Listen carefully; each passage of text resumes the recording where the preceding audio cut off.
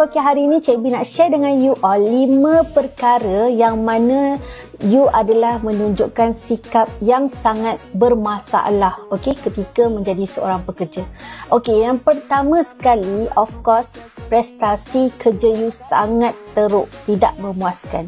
Okey, yang kedua kita tak mampu nak buat kerja dengan baik sama ada secara berkumpulan, individu ataupun secara uh, kerjasama dengan management. Okey. Yang ketiga, kita tak bagi respon yang baik semasa orang memberi tunjuk ajar kepada kita. Okey, kita tak react dengan positif. Yang keempat, kita sukar untuk membuat perubahan diri sendiri.